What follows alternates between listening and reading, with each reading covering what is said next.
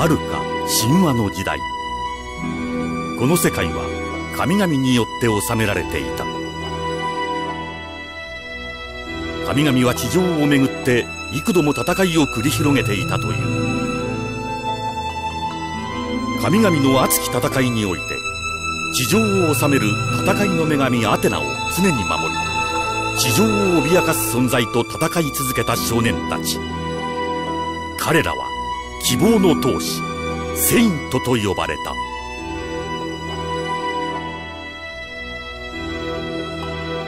そして現代来るべき聖戦のためにアテナの化身が降臨す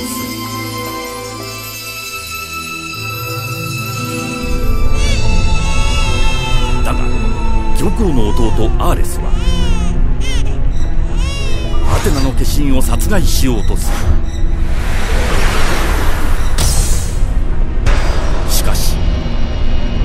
アテナ殺害は寸前のところで次期教皇候補であるサジタリアスのゴールドセインとアイオロスによって阻止される。アイオロスはアテナを守るべくサンクチュアリ脱出を決意するがアーレスの策略により反逆者の汚名を着せられてしまう。アイオロスへの追撃は熾烈を極めたがかろうじてサンクチュアリ脱出まであとわずかのところまでたどり着く。その時アイオロスの前にゴールドセイントが立ちふさがった。カプリコーンのゴールドセイントシュラである。力を尽くし突破を試みるアイオロス。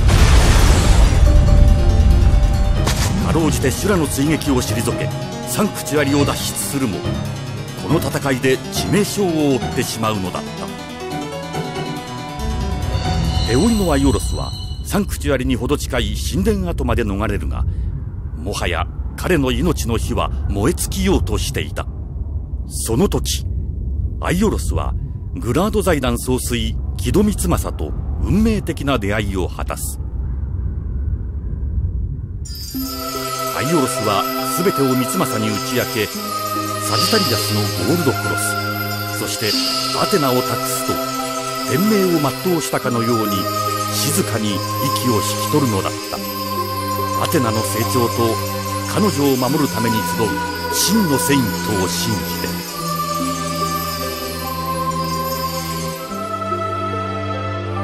そして13年の時が流れアテナの化身は三政の孫木戸沙織として成長する。時を同じく三政に見いだされ世界各地で厳しい修行を終えた少年たちがセイントへと成長し沙織のもとに集った。ギリシャよりペガサス聖夜。中国五老峰よりドラゴンシチリウシベリアよりキグナス氷河アンドロメダ島よりアンドロメダシュンレスクイーン島よりシュンの兄フェニックス一騎アイオロスの意志を継ぎ地上の平和とアテナを守るた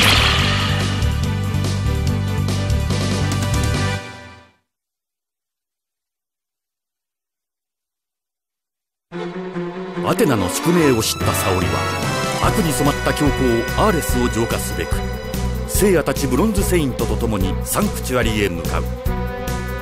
だが強力な結界に守られた教皇の前たどり着くためにはセイント最強を誇るゴールドセイントたちによって守護される行動十二星座を象徴する12の宮殿を抜けていくしかない。教皇の前へ向かう沙織に上皇に差し向けた仕掛けシルバーセインとサジッタのトレミーが不意をつき黄金の矢を放つ。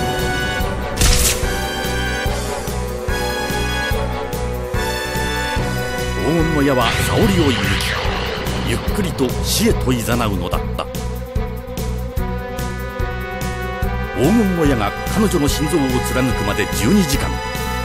矢を抜くことができる唯一の人物教皇を沙織のもとへと連れてこなければならないのだ。急げアテナのセイントたち。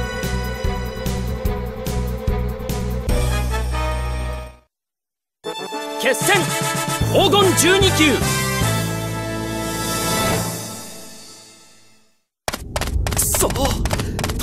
になりやがったぜ。一刻も早く教皇のままでたどり着かねば。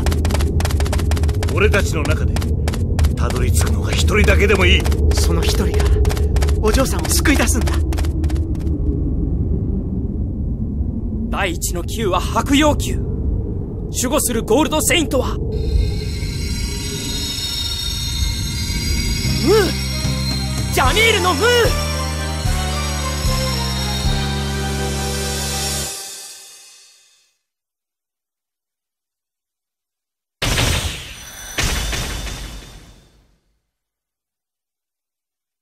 さあ、聖夜。戦いの中でセブンセンシズに目覚めるのです。あなたに受けた恩はこの剣で示す。ムーそうか。白葉級とは羊。だからここを守護するゴールドセイントはアリアスのあなたということか。まさかムー俺たちを食い止めるつもりじゃないだろうな。聞きなさい、聖夜。あなたは戦い方も知らずにゴールドセイントに挑むつもりですか？断っておきます。ゴールドセイントはそんなに甘いものではありませんよ。しばしの間白要求にとどまり戦い方を学んでいくのです。この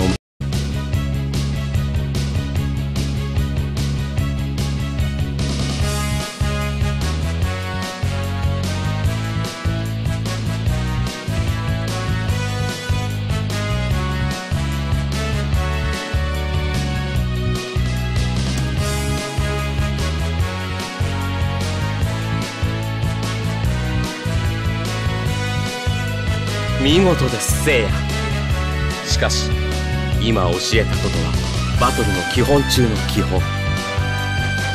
ここから先はあなた自身の力で新しい戦い方を見つけ出していくのです。常にコスモを燃やしバトルの研究に励みなさい。それこそ強者への一番の近道なのですよ。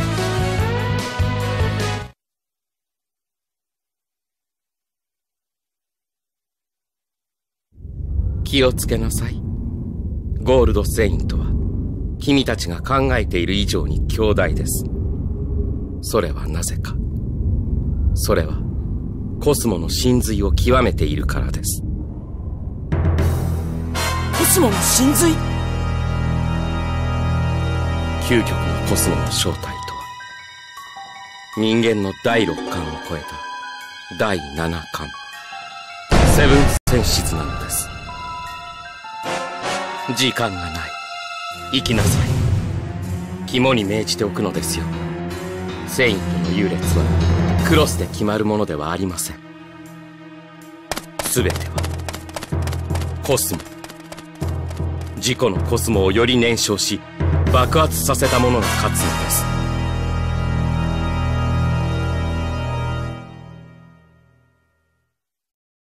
セイントセイヤ異常の資格ムー対デスマスク。君はコスモを感じたことがあるか？